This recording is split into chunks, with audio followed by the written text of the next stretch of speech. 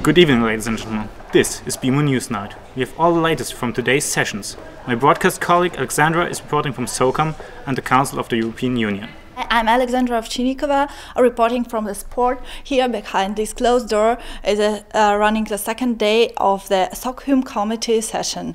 The 31 SOCHUM member states are discussing the issue of international drug trafficking. Germany made a sensational announcement in course of the session. Around 10% of the European Union budget may be spent on combating the drug trafficking. We are going to give it all together, all the developing European countries like France, like Germany, like the United Kingdom, Italy, because to give it separately, it is really difficult. Heated debates are still going on over the drug legalization. While the Latin American countries propose legalization of possession of some light drugs such as marijuana, the European countries, the US and Russia speak strongly against this measure. There are a lot of people in jails all across Latin America who are incriminated just for possession of marijuana, and that's unacceptable because the um, jails are already overcrowded. We don't see um, any efforts from these countries to, to, to eradicate the illegal use of drugs. Other anti drug trafficking measures include strengthening of the border security and training of the national security authorities in the production countries, as well as alternative harvesting opportunities. Pakistan is committed in this committee to hopefully assisting to resolve that problem by uh, instituting a drug crop replacement and compensation program that will hopefully assist farmers in switching to other crops that will be equally as lucrative with the financial assistance of some Western nations uh, and away from the growing of opium. The Council of the European Union held a press conference on the Youth Guarantee Programme today. The program is expected to resolve the youth unemployment issue in Europe. We would like to focus on educational as well as economic reforms. They will have to offer some type of program so to kind of bridge this gap between education and careers. The Youth Guarantee Program is built up on three pillars. First, subsidies for companies that provide young unemployed people with jobs.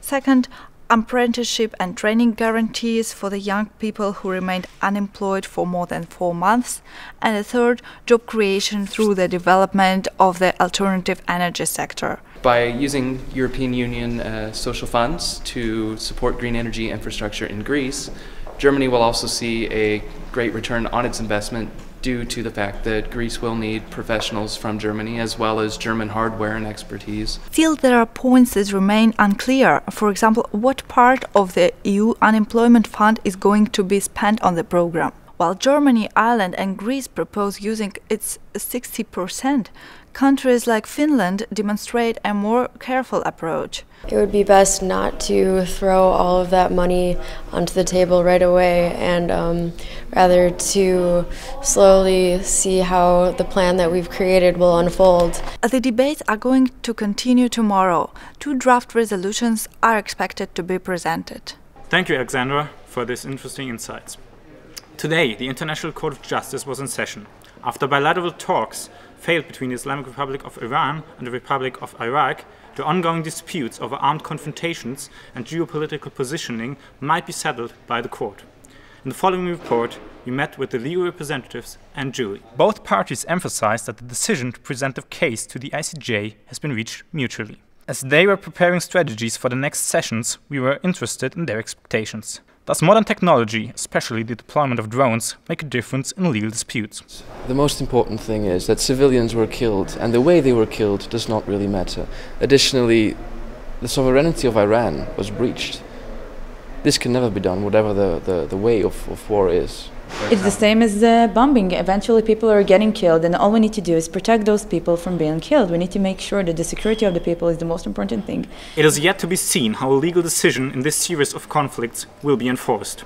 Even though the delegations appear hopeful, the jury expressed some concerns. Although they agreed, the decision is still, it's only as binding as the states agree to it. So it's really just, it, it sets a, hopefully it sets a precedent in the case. Now on Newsnight.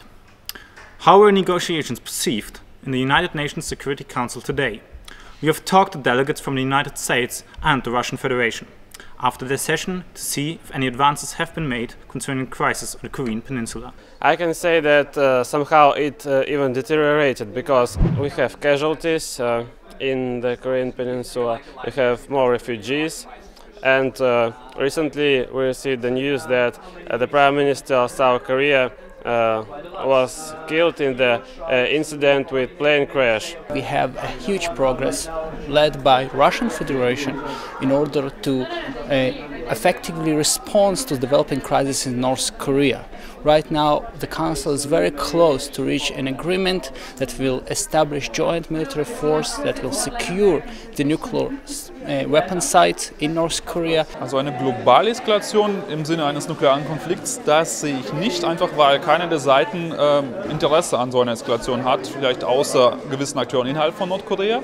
Ähm, da sehe ich nicht die Gefahr. Ähm, allerdings äh, die Gefahr, dass beispielsweise die atomare Technologie, Waffen und ähnliches ähm, durch diesen Zerfall verbreitet werden, auch äh, an Akteure gelangen, die vielleicht diese Waffen nicht haben sollten und die dann global Bedrohung darstellen, das kann passieren. And now to our daily segment on sustainability and the Green Conference project.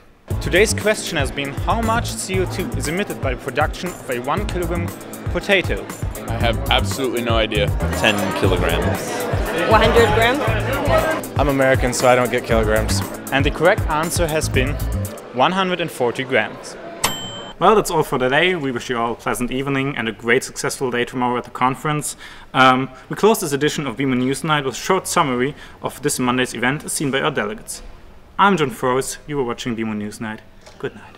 Sometimes countries can make very take su- very surprising positions. It is really cool that so many people from so many different countries are here, so we have a lot of insight into what is actually happening. I was really surprised that we had a visit from the NGOs today, and I really like that, that they show support for us. Uh, today I delivered in my committee a singing speech. Overall, it was productive and uh, everyone's uh, ready to go to Fiddlers tonight. People are so friendly, you know, and I have so many friends right now from all over the world, so I'm so happy that I'm here. Yeah.